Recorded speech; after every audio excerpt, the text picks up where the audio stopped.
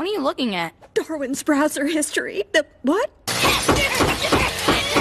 Sorry, we had no idea you were techy enough to check out internet browser histories. Uh, please, go on.